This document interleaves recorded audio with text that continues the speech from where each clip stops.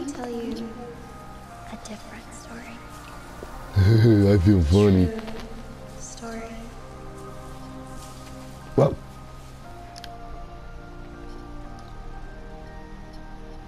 This is where I give everyone blowies.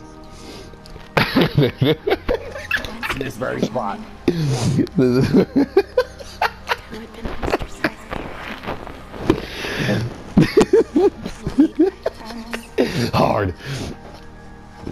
it's the only way.